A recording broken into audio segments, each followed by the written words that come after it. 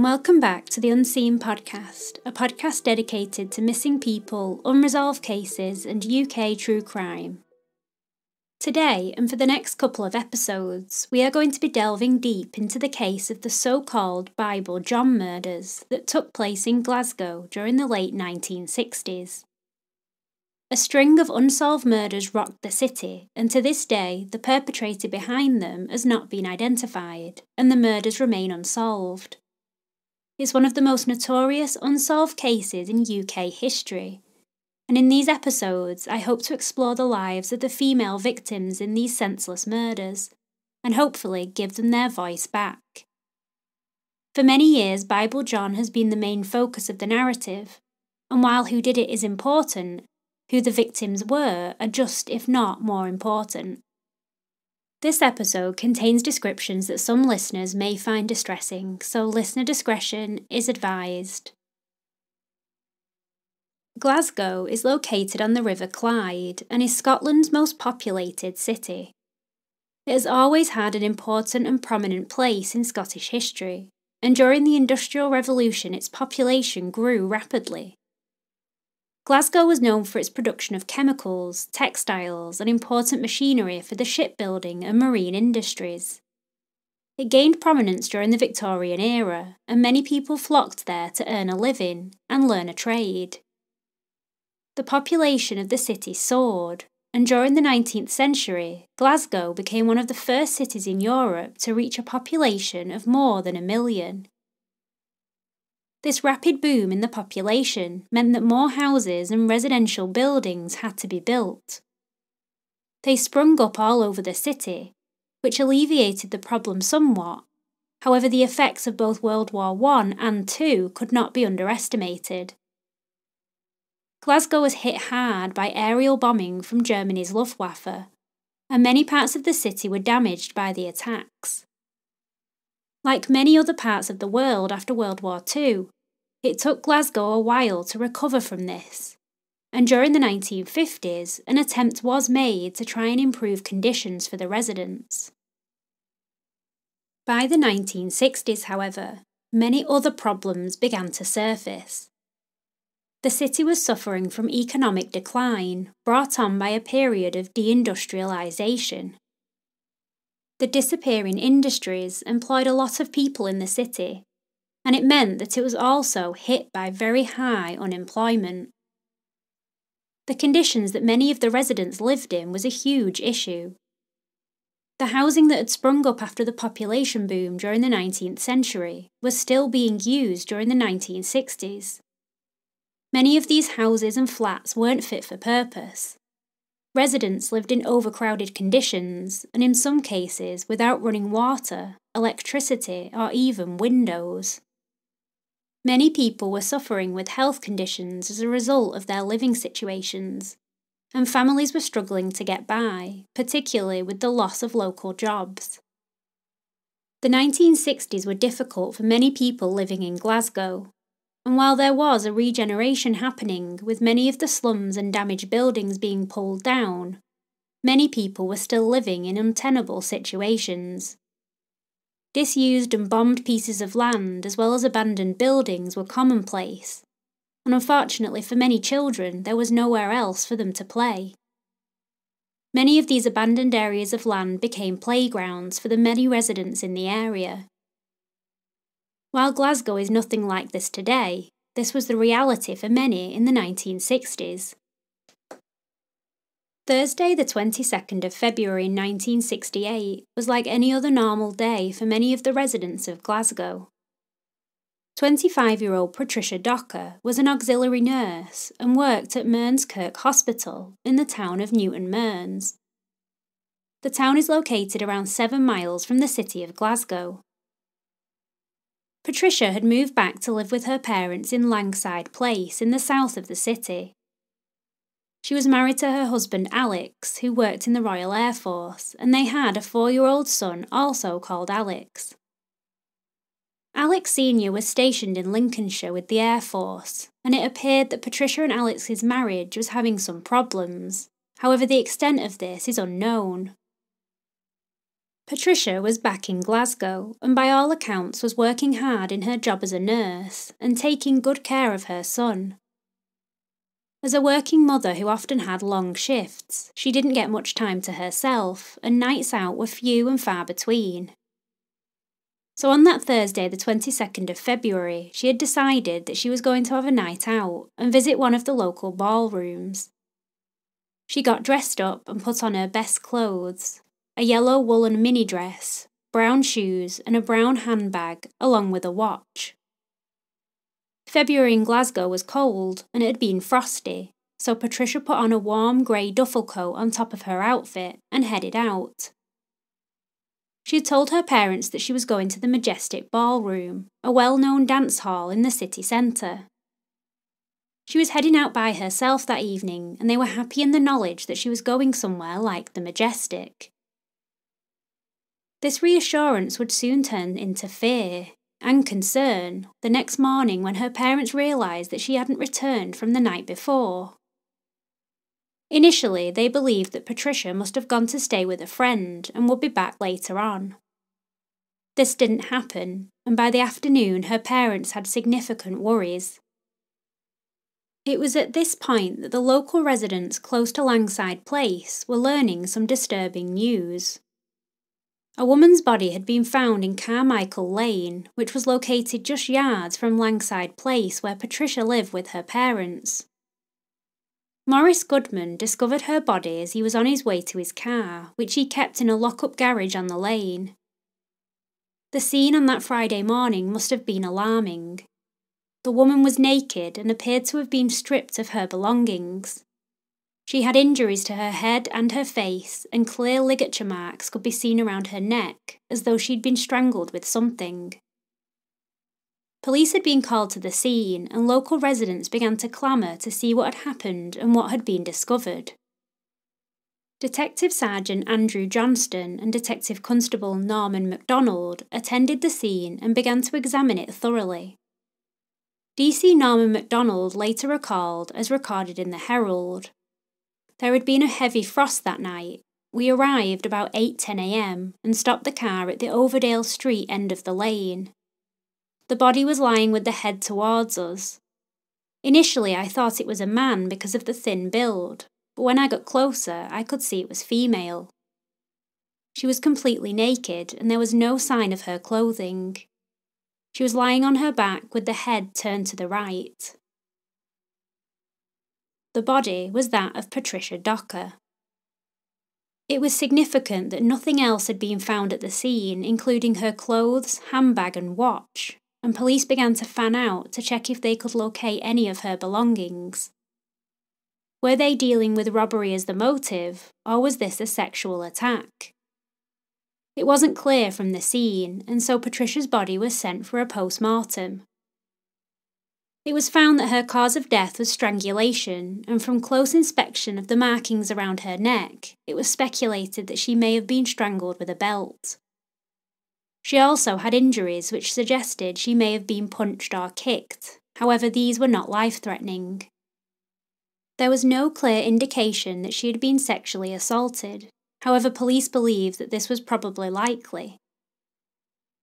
Dr. James Imrie, a police pathologist who had examined Patricia's body at the scene, explained that due to the rigor mortis that he observed, she was probably killed in the late evening or early hours of the morning. Officers who were searching the scene eventually found the casing for Patricia's watch in a puddle, not far from her body, and when trawling the River Cart, they recovered her handbag. The river was not far from the scene, and it appeared that the perpetrator had discarded these items, perhaps en route from the scene, or even in a deliberate act. If it was a deliberate act, it implied that whoever had committed this knew the area well. The other thing that stood out to investigators was that all of Patricia's other belongings were missing, including all of her clothes. Where had these gone? Had the offender taken them when they left the scene? The fact that she had been left naked and no attempt had been made to cover up her body was also alarming, and police attempted to try and narrow down some suspects.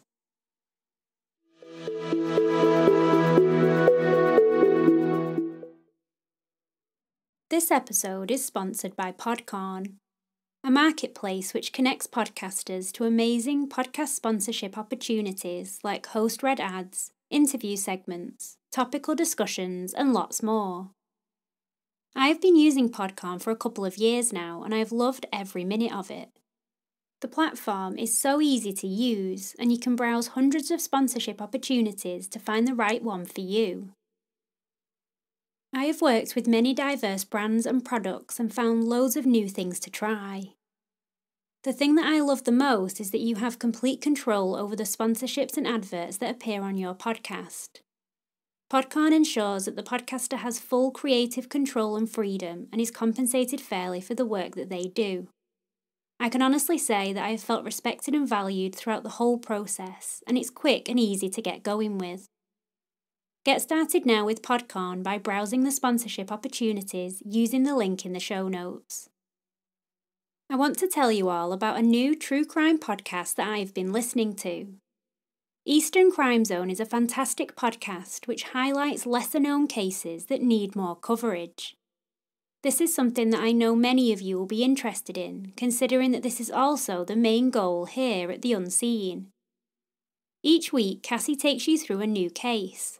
Some of these are recent cases, like a breakdown of the disappearance of Daniel Robinson, to a case from the 1920s in LA. One episode I want to really highlight is the one that I've recently listened to about the murder of Erica Alonso. Cassie worked with Erica's family to highlight this case, and it's one that definitely needs more coverage. I know that many of you will be really interested in finding out more about Eastern Crime Zone, and so find it wherever you listen to podcasts. And also find Cassie and the podcast on social media at Eastern Crime Zone on Instagram and ECZPod on Twitter. You can also find the link in the show notes.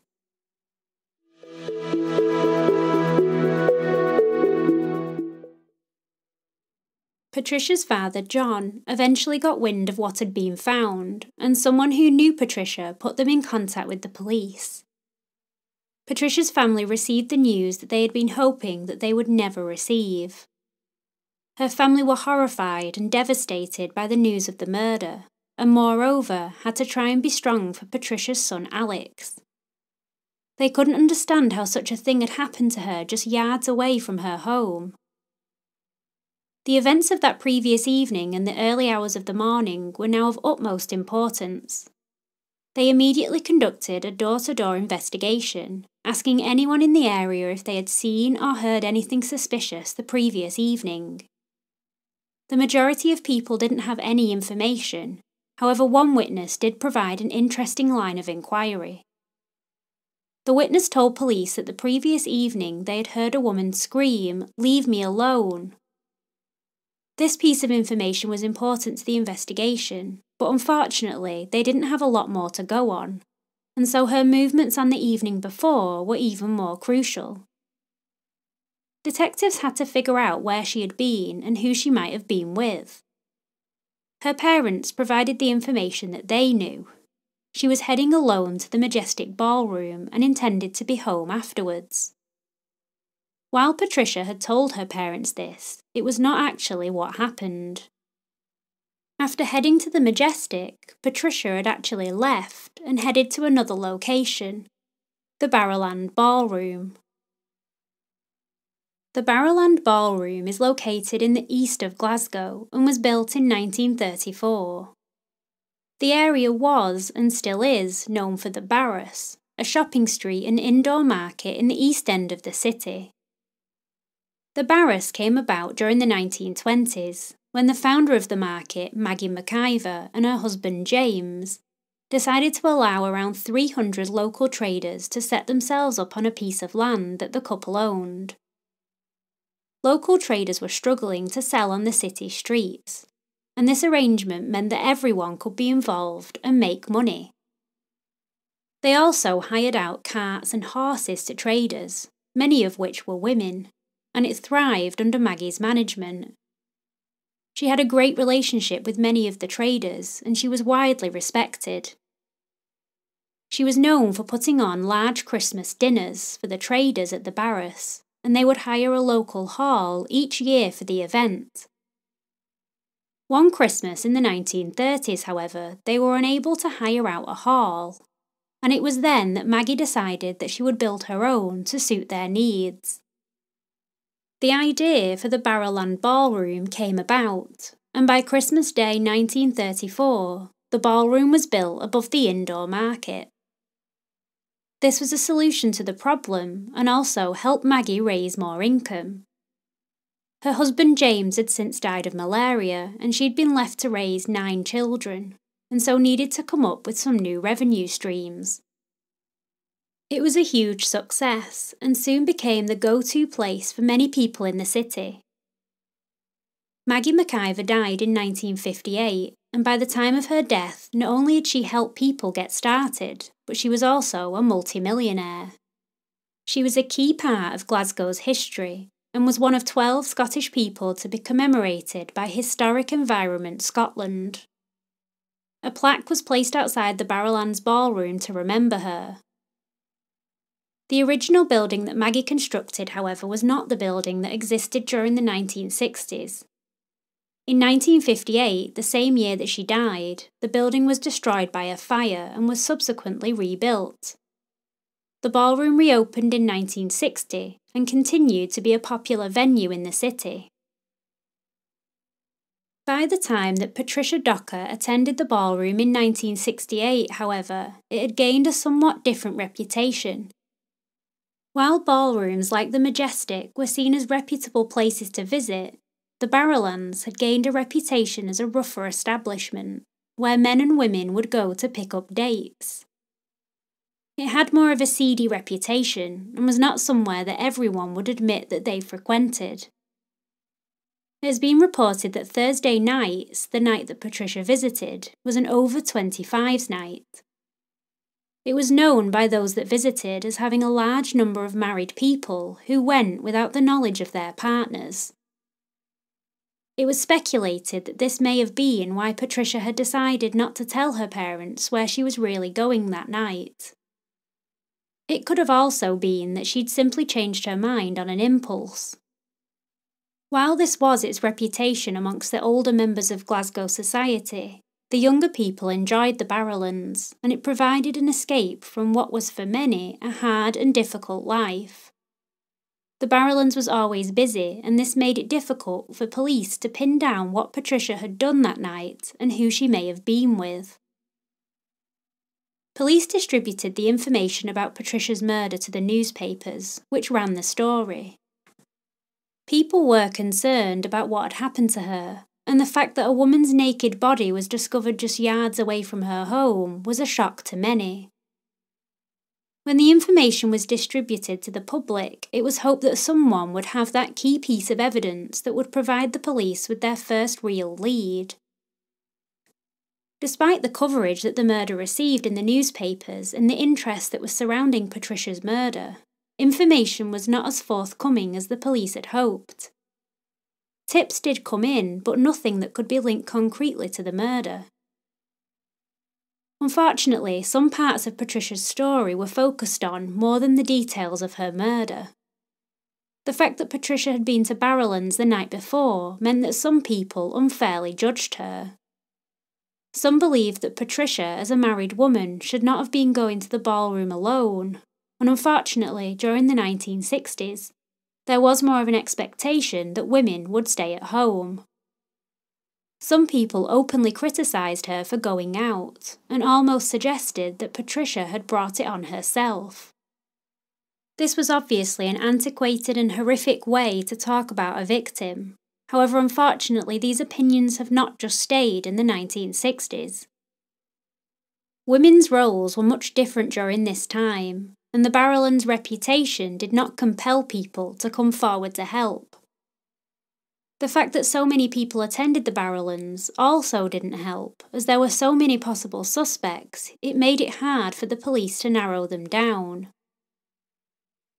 There was another problem with the investigation, and that was the crime rate in Glasgow at the time. Patricia's murder, although horrific and incomprehensible, was not rare for the city. The crime rates in Scotland had been on the rise during the 1960s, and murder was more commonplace than it should have been.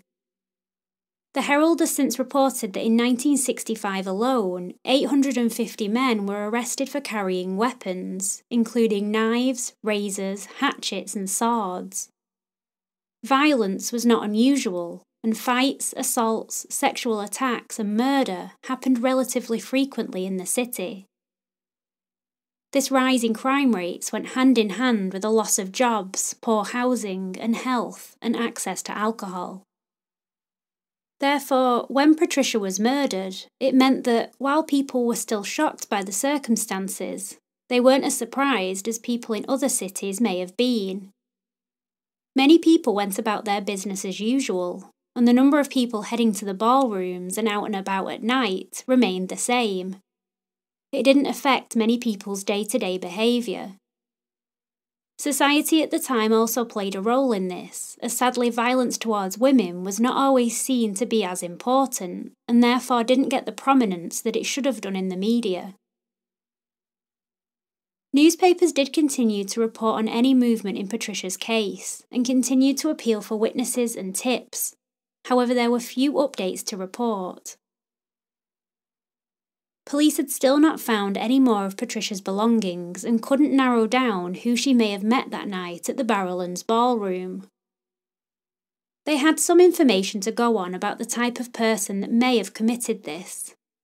They could speculate that whoever it was may have known the area, that they may have met her at the ballroom. They also suspected that they took her clothes and dumped her handbag in the river. There was one element of the crime scene that confused all of the officers.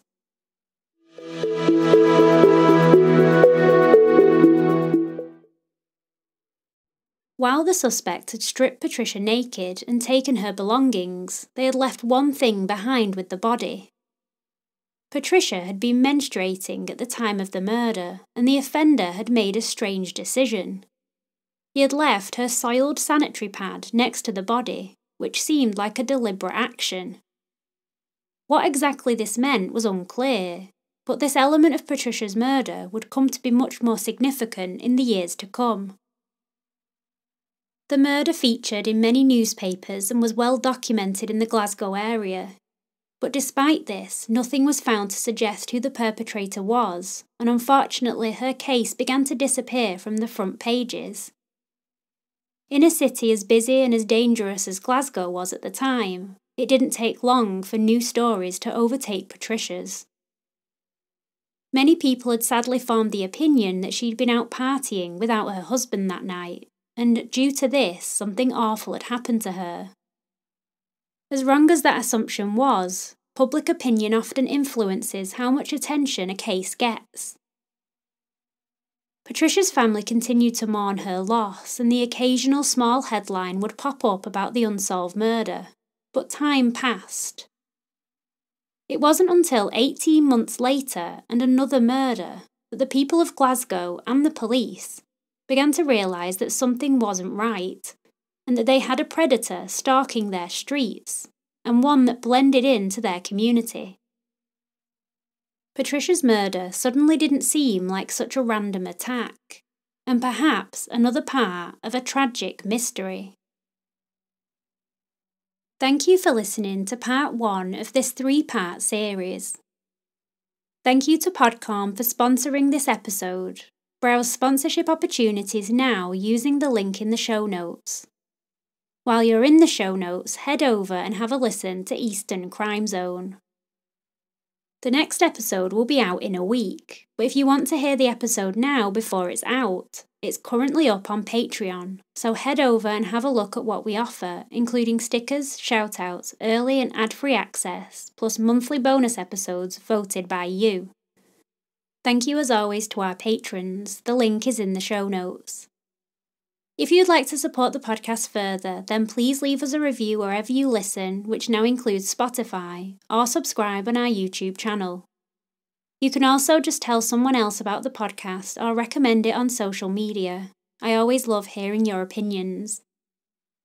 You can also send in any case suggestions over there or at my email address, theunseenpod at gmail.com. I will see you here again next week for part two. Until then, I'm Caprice, and this has been Unseen.